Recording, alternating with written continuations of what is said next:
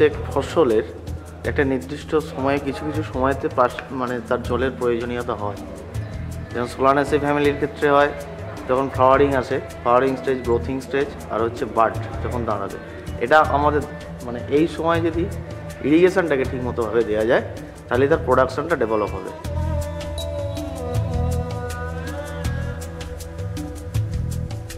জল হচ্ছে এমন একটা সম্পদ, যেটা হচ্ছে সঞ্চিত সম্পদ। এটাকে যত আমরা মিসইউজ করব তত কিন্তু এটা আমরা অদূর ভবিষ্যৎকে শেষ করব।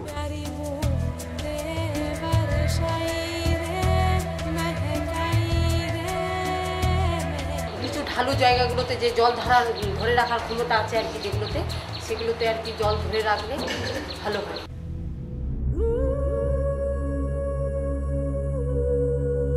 Around 70% of the population in West Bengal depends on agriculture for their livelihood. But agricultural production has stagnated since the early 1990s. This decline can be attributed to two main factors. One is that the production costs have risen dramatically, while market prices for the crops have hardly risen. The other is that smallholder farmers without access to water can only cultivate in the rainy season. This situation is critical because many people still lack food security in West Bengal. As a result, many people migrate for work and food during the dry season. West Bengal has adequate land and water resources for agriculture. The state receives water from the Ganges tributaries and in many places has plentiful rainfall and substantial groundwater. Three fourths of the land is suitable for agriculture, but over 3.3 million hectares are divided into small plots of 2 hectares or less. Therefore, carefully adapted agricultural water management techniques could have great benefits for smallholder farmers. However, large scale and sustainable adoption of agricultural water management options by poor people, especially women and tribal communities, remains a challenge. In our work, uh, water management, agri- agriculture water management is having major focus because that we think is the key for poverty alleviation of tribal community who have lands otherwise but are uh, very new in, as far as agriculture as a livelihood source is concerned. They are second or third generation farmers. So they are not used to irrigated agriculture. Their practices are very traditional. It is essential to establish where people need water and will benefit from agricultural water management. Different contexts and livelihoods create different needs. Maps have been created by local stakeholders to capture these needs. By combining these with biophysical conditions such as surface or groundwater availability, it is possible to see where investments in agricultural water management can have the greatest impact by reaching to the maximum number of smallholders. The first uh, objective uh, of uh, this mapping exercise is to focus on people. Uh, for, for a long time we have been developing maps, uh, maps of potential, map of resources, etc., and they are very important. But our map starts with people, with uh, smallholders uh, in rural areas, and we first try to understand who they are, where they are, what their needs are, what type of farmers and other rural people we have there. Because by doing that, we force ourselves to think about what kind of support these people need. Once we have done that, we could identify the places in the state where there is most need for uh, AWM solutions.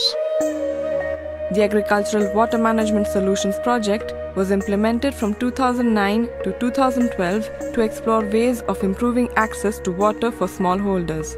In West Bengal, Prasari, a local NGO, and the FAO, the United Nations Food and Agriculture Organization, led a dialogue process with farmers and local stakeholders in key locations across the state.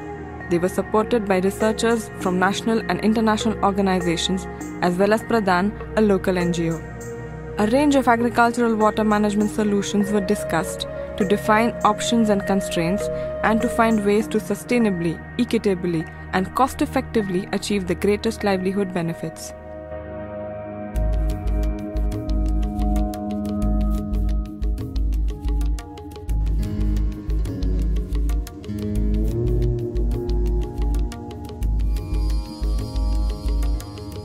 It is often said that there is a technology ladder, that a farmer starts with the cheap, often manual technology and moves up to more costly, motorized systems. Lessons from the use of treadle pumps suggests that this is not the case. Farmers in Koch Bihar district were among the first to use treadle pumps in the early 1990s. Later, the area benefited from cheap, lightweight Chinese diesel pumps. Now, electric pumps are popular as the electricity grid extends. Some farmers choose not to invest in treadle pumps but to start with diesel or electric pumps. Those who cannot afford the investment cost rent motor pumps. The lessons are that the interest in a technology depends on the location, time, and circumstances. Plus, cost is not the only factor. Other aspects, such as availability and labor requirements, play equally important roles. One agricultural water management option is the use of groundwater for agriculture. This would allow farmers to irrigate in the dry season. Natural aquifer recharge is high in West Bengal, but only 42% of the state groundwater resources are being exploited. Where no abnormal levels of salinity, arsenic, or fluoride are reported, more groundwater could be used. A better general understanding of groundwater and the adoption of clear groundwater policies encouraging its use for irrigation without jeopardizing resources would benefit both farmers and the state. The changes are likely to have a profound impact on farmers, but the challenge will be in implementing these changes, ensuring that they reach the farmers and monitoring with them the impacts on the resources. Another option available to farmers is rainwater harvesting. Certain districts receive large amounts of rainfall in a short period. Most of this water is lost as runoff. Capturing this water can make all the difference. The hapas are one way of doing this. They are small ponds for storing rainwater built on individual farms. They should cover at least 5% of the land, possibly more. Their advantage is that they are owned by individual farmers who can decide how to use the water. They provide farmers with water for dry season irrigation and diversification of crops. They can support livestock and fish farming and even recharge of groundwater. In 2008, a program to experiment with hapas in Bankura district west of Kolkata was funded by the Mahatma Gandhi National Rural Employment Guarantee Scheme and implemented by PRADAN, a voluntary organization. As a result, small farmers have increased their incomes and raised themselves above the Indian poverty line. Those practicing fish farming have better nutritional and social status. Migration has declined, jobs have been created, and more children are attending school.